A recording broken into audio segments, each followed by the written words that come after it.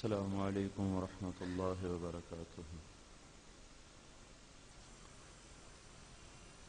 الحمد لله الذي لا نحصي ثناء عليه وهو كما أثنى على نفسه.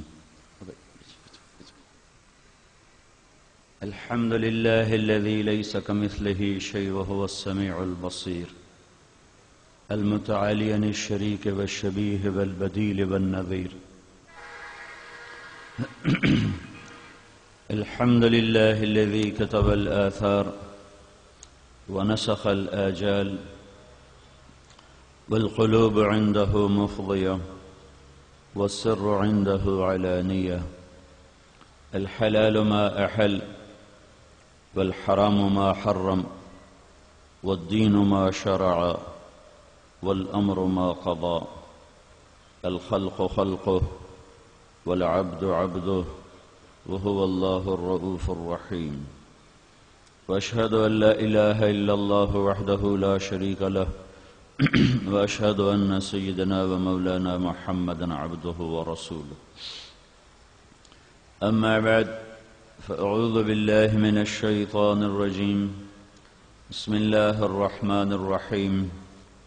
هذا بلاغ للناس ولينذروا به وليعلموا أنما هو إله واحد وليذكر أولو الألباب.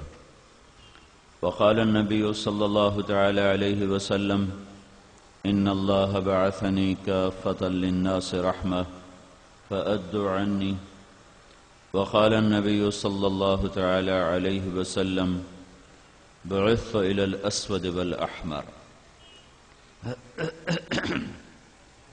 وقال النبي صلى الله تعالى عليه وسلم، نظر الله امرأ سمع مقالتي، فوعاها، ثم أداها كما سمعها، فرب مبلغ أو عام سامع، أو كما قال صلى الله تعالى عليه وسلم.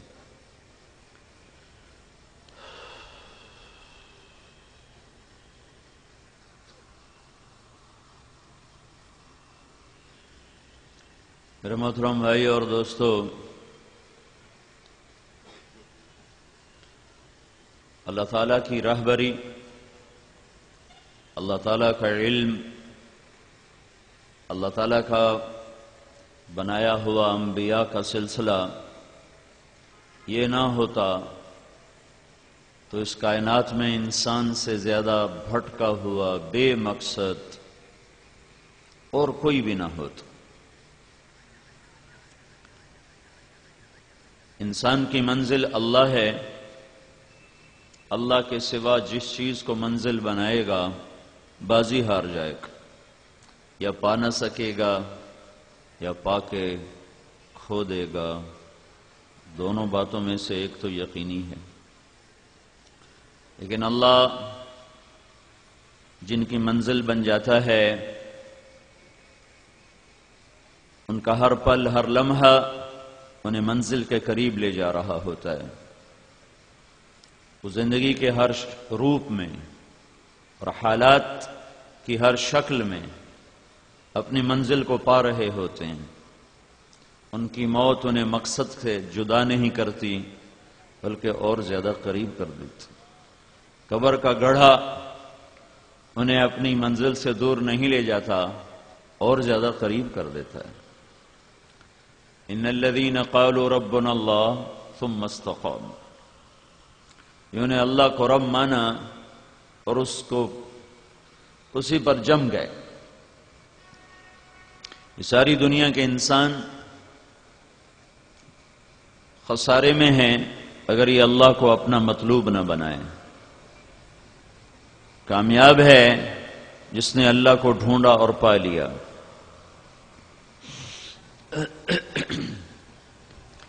یا عبادی انی لم اخلقکم لاستكثر بكم من قلہ میرے بندو، تمہیں اس لیے پیدا نہیں کیا کہ میرے خزانے تھوڑے پڑ گئے تھے، تو تمہیں پیدا کر کے اپنے خزانوں کو پورا کروں.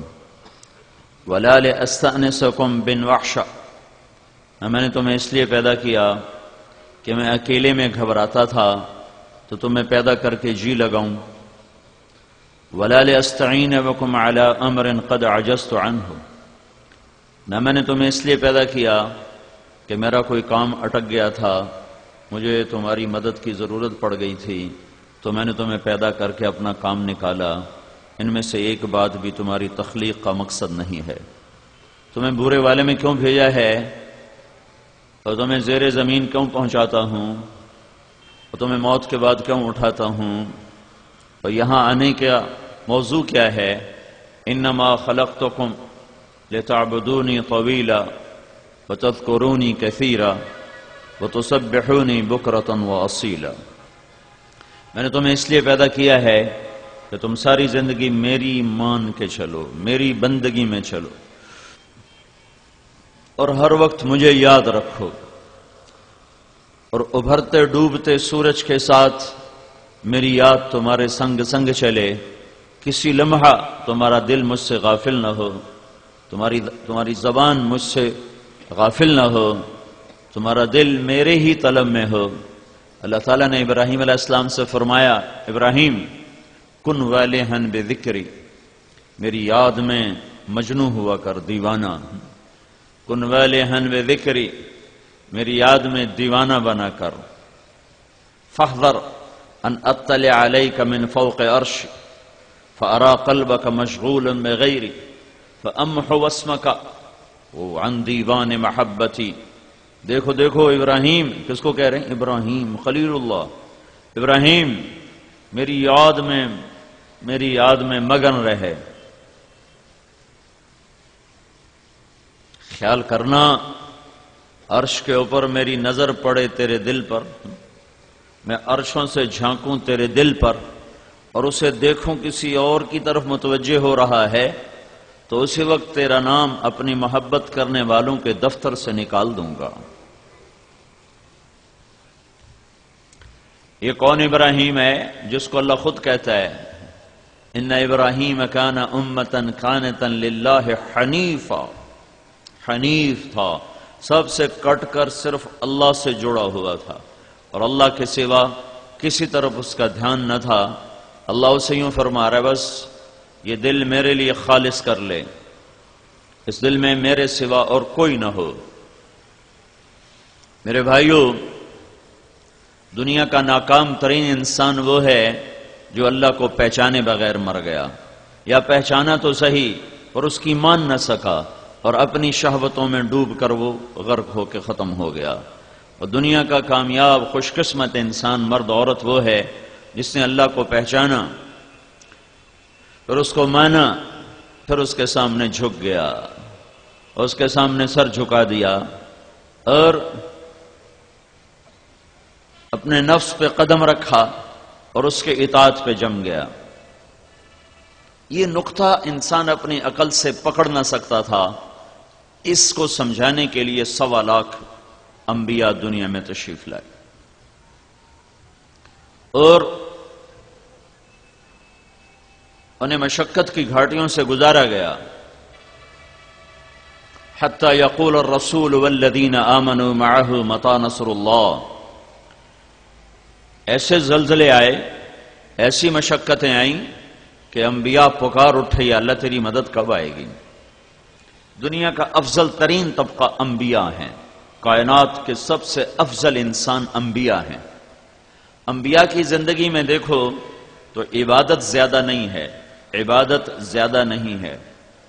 ہمارا نبی ساری دنیا کے سردار، جن و انس کے سردار، نبیوں کے بھی سردار، سارے نبیوں کے نبی، ساری زندگی آپ کی تہجد گیارہ رکعت نفل ہے، گیارہ رکعت، آٹھ نوافل اور تین ویتر اور ابن عباس کی ایک روایت میں آتا ہے پندرہ رکعت۔